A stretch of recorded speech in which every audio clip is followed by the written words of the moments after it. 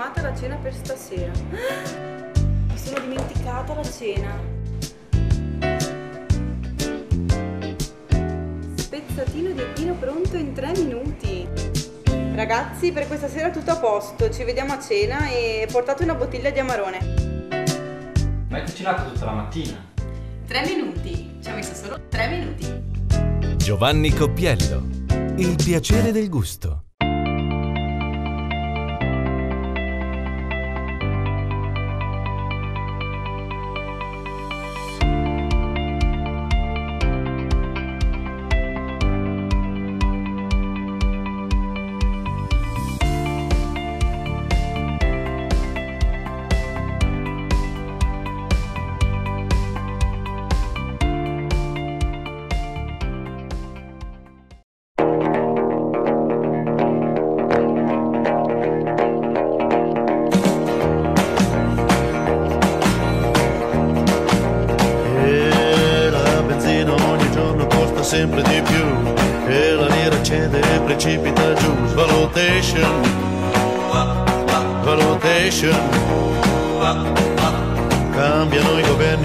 Cambia lassù. C'è un buco nello Stato dove i soldi vanno giù. Valutation. Gentili telespettatori di Prima Free ed Internet, ben ritrovati di cuore anche oggi con la nostra opinione giornaliera che ha l'importante compito di aggiornarvi, di informarvi e di farvi un po' di buona compagnia. Faccio una premessa molto importante. Il buono e il cattivo c'è dappertutto a destra, a sinistra, a centro, sopra, sotto. Però a me dà fastidio un principio che i signorini della sinistra portano avanti da anni. Mi riferisco al concetto della moralità. Da sempre loro si ritengono i più puliti, i più puri e io da anni dico sono balle le rivendicazioni dei compagnucci di sinistra. Adesso faccio vedere un personaggio importante, lo confesso, mi sono sempre ispirato da giovanissimo a Giorgio Almirante, responsabile del Movimento Sociale Italiano, persona integerrima, lo confesso, è stato sempre il mio punto principale di riferimento, onestà, educazione, saggezza, principi morali, coraggio in quei tempi difficili. Ha avuto il coraggio di portare avanti le sue idee, di dare legittimità ai nostri principi, la sua coerenza, cui non è venuto mai meno. Personaggio di altri tempi, come lo confesso, lo è stato Enrico Berlinguer per i veri comunisti di una volta. Qui non si capisce più niente, qui vale solo il Dio denaro. È proprio vero che pecunia non olet, il denaro non sporca.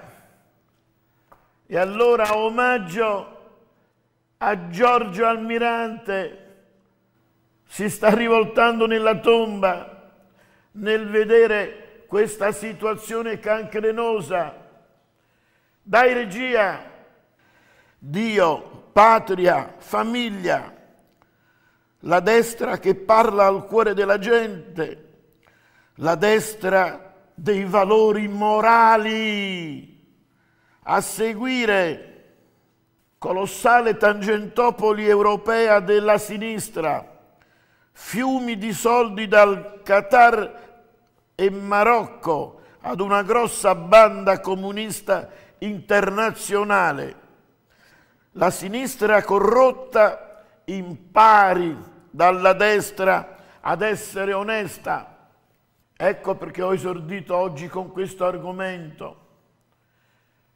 Ecco perché mi sono riferito a quelle false notizie, alla superiorità morale della sinistra. Non è niente vero. Quello che è successo nei giorni scorsi in Europa lo sta a dimostrare. Milioni di euro, mazzette, corruzione.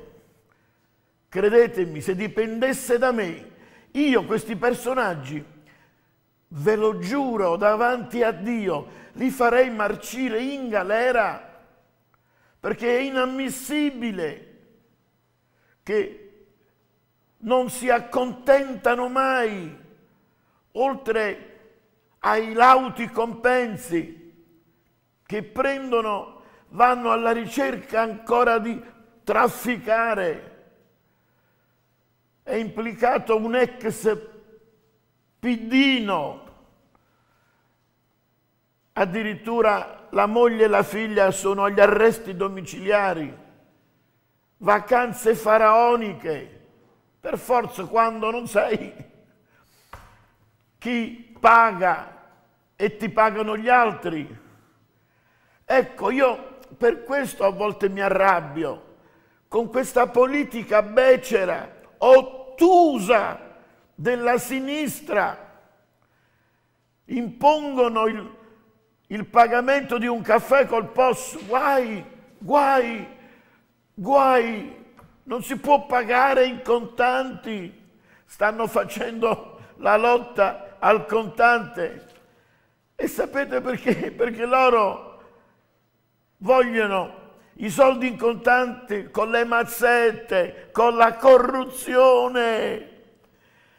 Hanno scoperto in casa della vicepresidente una signora, una bella, una bella donna, dai, una bella donna, greca, vicepresidente dell'Unione Europea, aveva soldi dappertutto, non sapeva più dove metterli. Aveva chiamato in soccorso perfino il padre, la damigella greca, che era andato con un trolley. Non sto scherzando, vi giuro.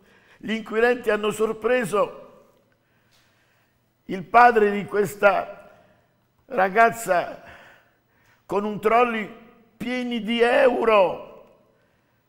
Lei convive con un altro esponente particolare italiano. Vedete la mentalità. Sono falsi, io non generalizzo eh, perché anche, attenzione, a sinistra c'è brava gente. Io colpisco il criterio il fatto che loro ti danno, ti impartiscono lezioni di moralità, sono i migliori, sono i più onesti, non è niente vero. Quando si tratta di rubare, la perdi l'onestà. Vergognatevi. Mi fermo una manciata di secondi e dopo vado a chiudere ancora con un esempio che vi fa capire che noi stiamo andando verso il baratro. La nostra, come dico io da tempo, è una società ormai alla deriva. Non abbiamo più i famosi valori di riferimento di Giorgio Almirante. È una giungla, credetemi, la società. Vanno avanti i più raccomandati, quelli che riescono, quei stofanti che riescono a trafficare. La meritocrazia è diventato optional. Chi ha più santi in paradiso, chi ha più protettori, chi ha più ganci va avanti. Ed è normale tutto questo. Ecco perché io mi lamento un giorno sì e un giorno anche. A fra qualche secondo. Vuoi migliorare l'efficienza termoacustica del foro finestra e ridurre il tempo di posa in opera del tuo serramento?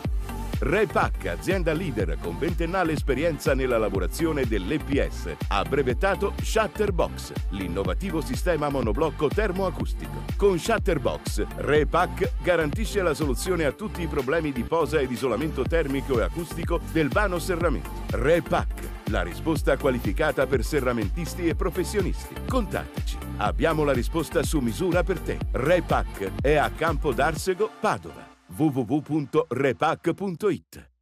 Mete e obiettivi. La tua guida è una voce che riecheggia dentro di te. Tutto è possibile.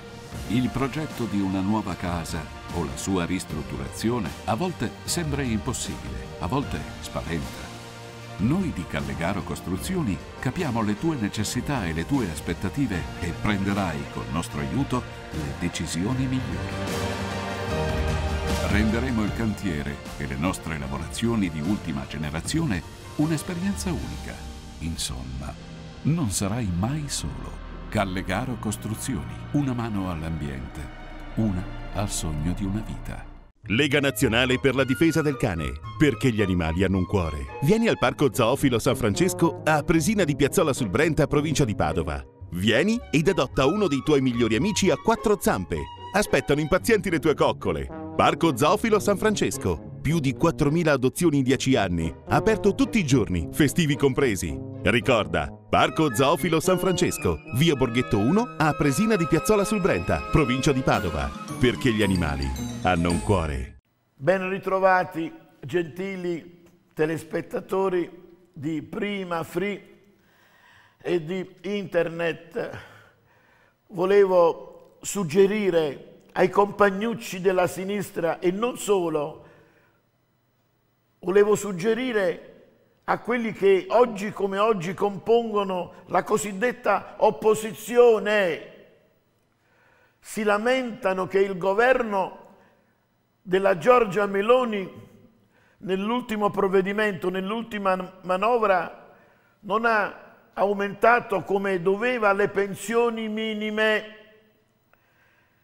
Allora io correttamente, obiettivamente, serenamente, senza incazzarmi, perché mi dovrei incazzare di brutto, ma non lo faccio perché voglio che il mio messaggio giunga a destinazione. Egregi signori componenti dell'opposizione e in particolare egregi amici della sinistra, ma dove caspita eravate voi negli ultimi vent'anni? Chi ha governato? Enzo Spatalino, la Meloni. Siete stati voi al governo. Allora perché non avete proceduto ad aumentare le pensioni minime? Vedete perché io a volte mi arrabbio? Perché c'è questa becera strumentalizzazione. Adesso che c'è un governo di centrodestra, la sinistra va all'attacco e si lamenta. Perché non avete aumentato le pensioni minime? Ma tu che sei di sinistra dovresti avere più a cuore i piccoli, i deboli, i meno protetti. E perché non hai fatto l'aumento delle pensioni minime? Vedete uno dei tanti casi di strumentalizzazione. Pregherei la regia di offrire qualche contributo. Oggi ho parlato troppo, io in genere mi avvalgo di locandine, di video, di contributi vari per far capire meglio le mie argomentazioni. Dai regia, andiamo a vedere Cosa prevede il regolamento delle coop, le cooperative rosse? Dovete saperlo voi. C'è l'avviso della coop. Si informano tutti coloro che vogliono diventare soci coop che i 25 euro della quota sociale per l'ammissione a socio possono essere versati solo in contanti la procedura in uso non consente acquisizioni con pagamenti elettronici. I compagni pagano il caffè con il POS, ma per le tangenti esigono rigorosamente il contante. Avete capito? L'andazzo sono teorici. Quando vogliono loro però devi andare cash, cash cash, contanti, i sacchi di soldi a rubare. Vergognatevi! Non mi avete mai convinto con le vostre falsità. E chiudo facendo un po' di pubblicità alla nostra televisione, in particolare alle mie rubriche.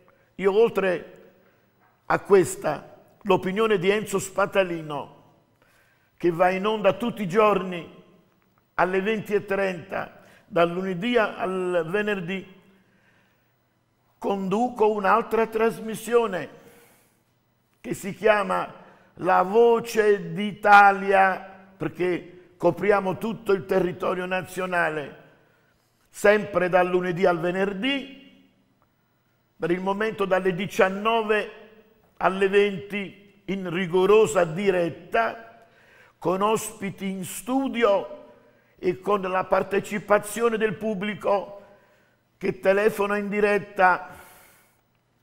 Ricordatevi però che per seguirci dovete annotare i canali magici 170 170 e 231 231 del digitale terrestre per seguirci. Se non ci trovate subito, per favore, perdete qualche minuto per fare la risintonizzazione automatica dei canali. E poi, per ultimo, mi rivolgo ai fedelissimi, iscrivetevi se volete ai miei canali YouTube e Telegram, Spatalino TV, più siamo e più ci facciamo sentire. Dai, anche per oggi penso che possa bastare. Grazie di cuore per la vostra cortese attenzione nei nostri confronti. Un grazie ai miei sponsor e un grazie per la parte tecnica al nostro regista Giovanni Stoppa in cabina di regia. Arrivederci. Gommista Walter Dallabona in via Puotti 61 a Villanova di Camposampiero Padova, telefono 049 922 0443. Un artigiano che da anni dà un servizio nel suo settore, dalla vettura di piccola cilindrata al camion, all'autobus, al fuoristrada, a mezzi agricoli e moto. Aperto tutti i giorni, anche sabato pomeriggio su richiesta. Assetti, convergenza e bilanciatura. Assistenza 24 ore su 24. Gommista Walter Dallabona, via Puotti 61, Villanova di Camposampiero, Padova. Telefono 049 922 0443.